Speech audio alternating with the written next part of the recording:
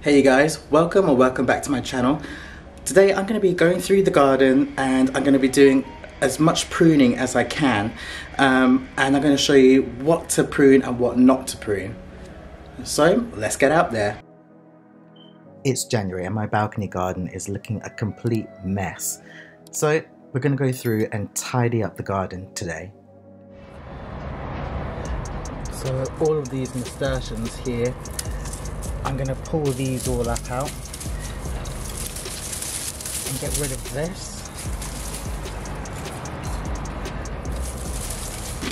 And then the same with the black-eyed Susans, they've taken over the whole trellis. And as you can see, it's making the whole archway look really miserable. So yeah, that's the first task for today. My garden is my happy place, so I normally put on some headphones, listen to some music, and just zone out. I'm systematically working my way along the trellis and the arches, taking down the nasturtiums and the black-eyed Susans. So interestingly enough, on those black-eyed Susans, obviously everything along the arches and the trellis was dead and they are normally known as an annual but the closer I got to the stem, the more I realized that actually that plant is alive. It wouldn't have made any new growth on those uh, dead stems, but actually, had I have just chucked it back down to the base, it would have produced some new growth. In fact, it's actually produced new growth here, so let me see if I can show you. There are some new growth points towards the base, and as you can see, the stems closer to the base are green. So what I'm to do is I'm to chop it back a little bit more. I'm going to pot it up into a little container, keep it inside and see if maybe I can revive it. Who knows, it's probably a waste of time, but you know me, I can't give up on my plants. So let's just see how that goes.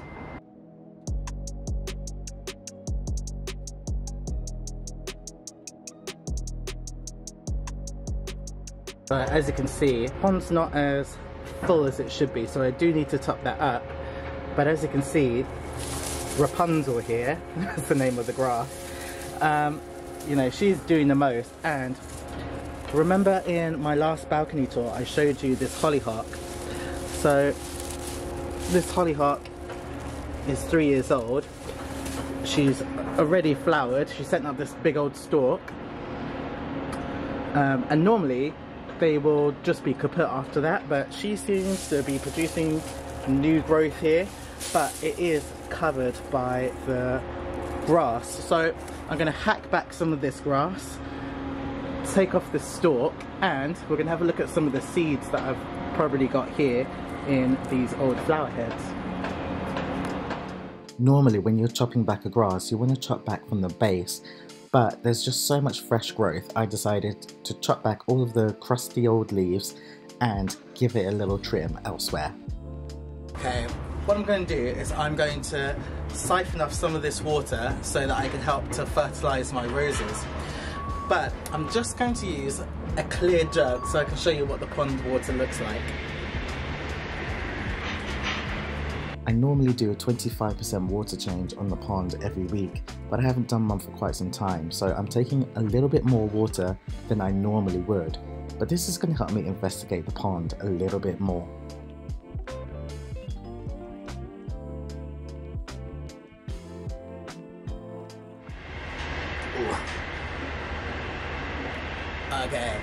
Here is the delicious pond water. Um, what I'll do is I'll just double check it, make sure that I'm not stepping up any fish babies. And it looks pretty clear.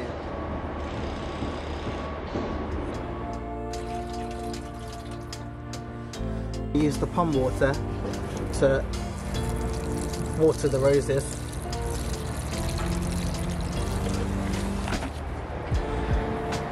Same over here.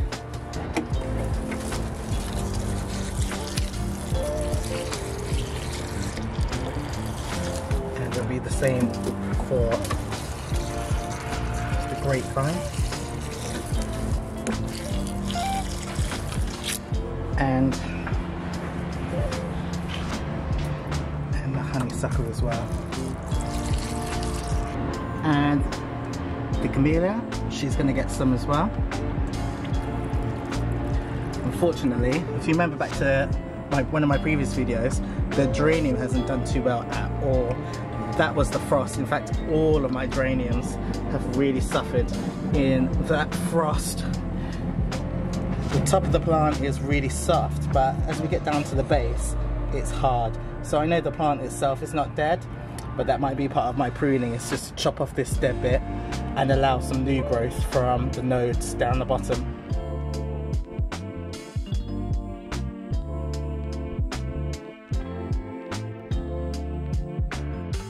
Now that most of the plants on the surface have disappeared, that allowed more sunlight to come through to the bottom of the pond. And now that I've emptied it a bit, what I can see is some new growth coming from the lilies.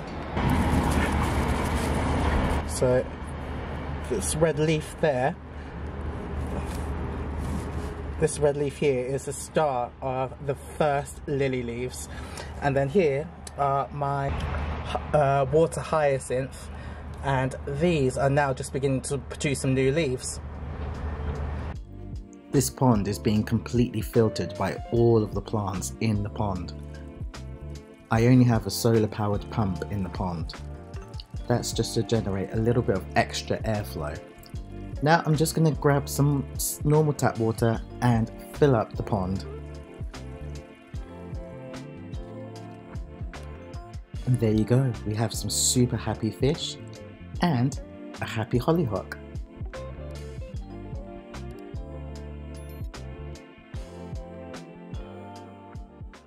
In my previous video I showed you one of my delphiniums and I hacked it back. Now I'm beginning to see some brand new shoots on the plant so let me show you that now.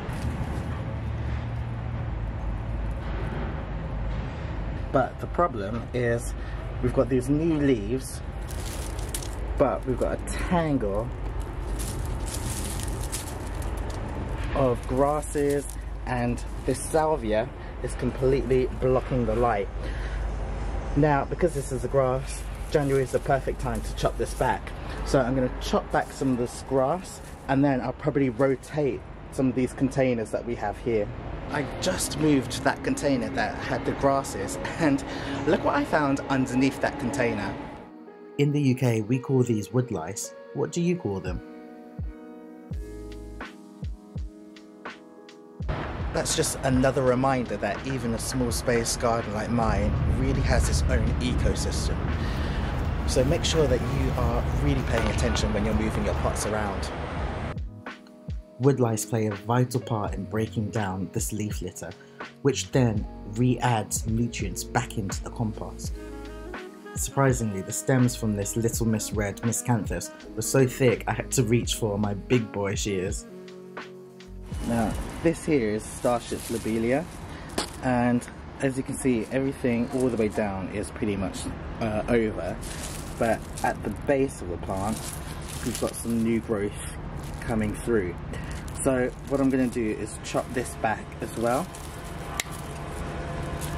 get rid of all of this top layer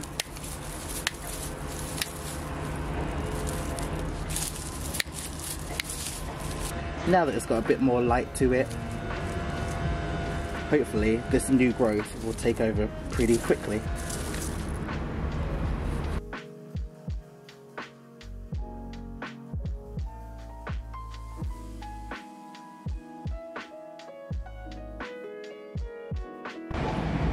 As you can see with this container here it's obviously finished but I've left it over winter and as we go down to the base of the plant you can see all of this fresh new growth right here.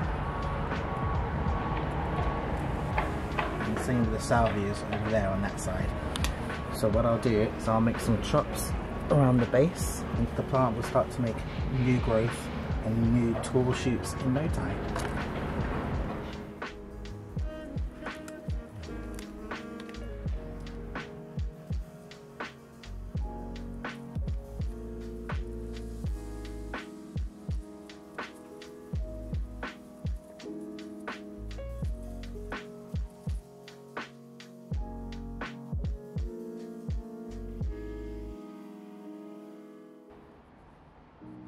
I decided to inspect some of my other containers because they house quite a few perennials.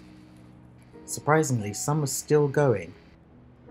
However, this container was a far cry from what it once looked like when it was a part of my show garden at Chelsea. I noticed that the Ligularia was nowhere to be seen, so I did a little bit of investigating, trying to get to the bottom of the container to see what had happened. But to my dismay, this is what I found. What was once quite a large plant was nowhere to be seen, so I decided to do a little bit of digging in that container to see if I could find out what the cause was. But as you can see, it is completely rotten away. This piece of the plant came away so easily and I decided to go into the bottom of the container and see if I could investigate the rest of the plant. As you can see, it is completely rotten. It literally was crumbling away in my hands. It's a real shame because I absolutely loved this plant and it does so well in a shady area. So I was doing a little bit of rummaging around in one of my containers and this is a mega caramel heuchera. Now as I was rooting around, this part broke off and I realised that I've got some uninvited guests. I'm not sure if you're going to be able to see, but I'm going to see if I can get you a closer look. There were small cavities all the way along this stem Imagine my surprise when I looked into the cavity and saw this.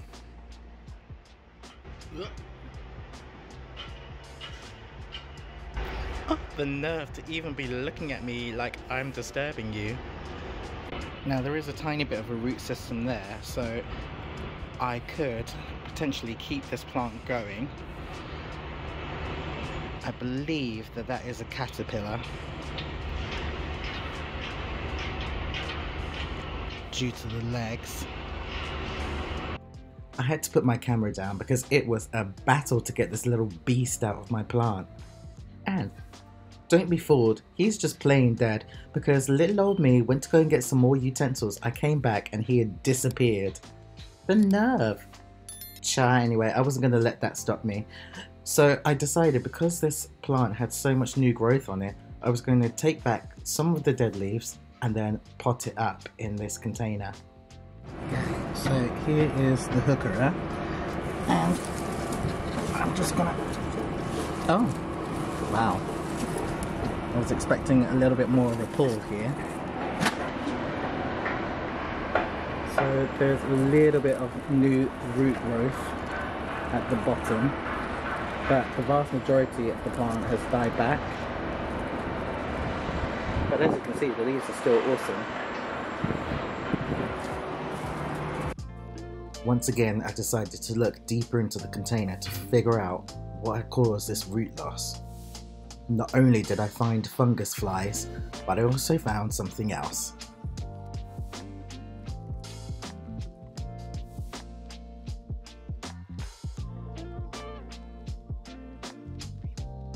So this slug was in that container. There's a couple more I found as well.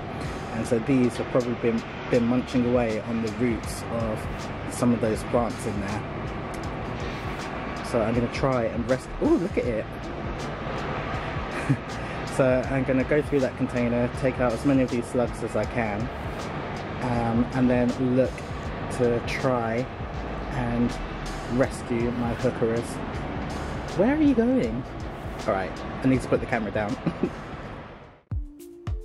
At this point, I just decided that anything that was still alive, I was going to dig up and repot.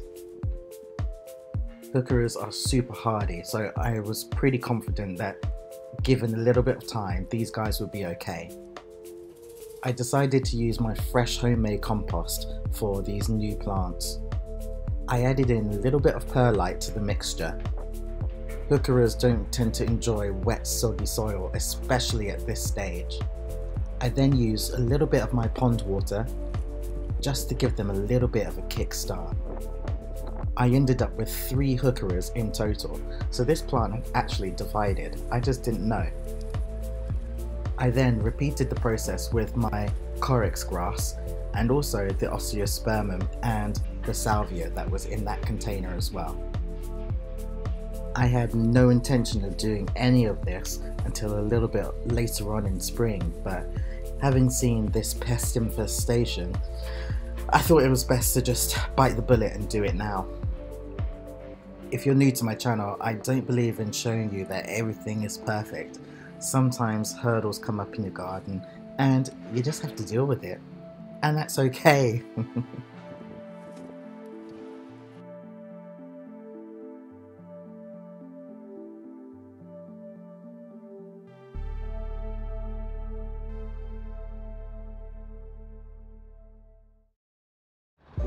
one of the issues I have at the moment is an increase in pests.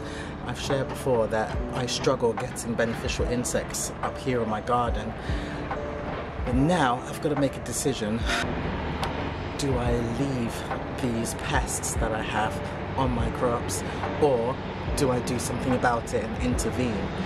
Um, if you know me, you know how much biodiversity means to me. So having to go in and take out some of the population, it really irks me. However, left unchecked, what it would mean is the aphids and the whiteflies would multiply to a point where my garden wouldn't be able to cope.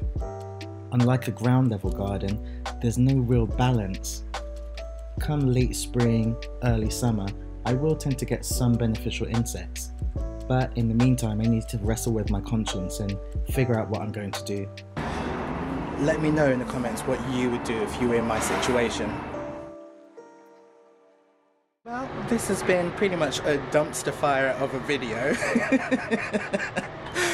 Listen, does anyone else do this kind of stuff? You start out trying to do one thing in your garden and then all of a sudden uh, there's just chaotic mess everywhere um, and all those things that you set out to do you didn't quite manage to do.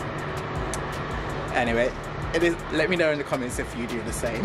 so in next week's video, hopefully some of this will be sorted, but I think what I'm going to be doing is making my way through some of these containers and probably continuing what I've just done, separating out some of these plants. And I think it's high time that uh, maybe I start to actually plan my garden and have an idea of what on earth it is I'm going to do.